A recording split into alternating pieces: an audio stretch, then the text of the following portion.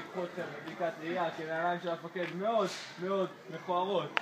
אז, רק אחת, מה אנחנו הולכים לעשות היום? אנחנו הולכים לעשות מסלול על פני הקרקע, מסלול מעל פני הקרקע ושני מטווחי ירי, בהם תראו בנשק פיינבול אמיתי, מסוכן.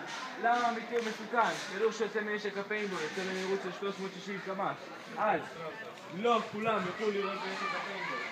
רק משרת ארבעת פעולות העיקריות של בגרות, אחריות, רצינות יוכל לראות בנשק הפיינבול.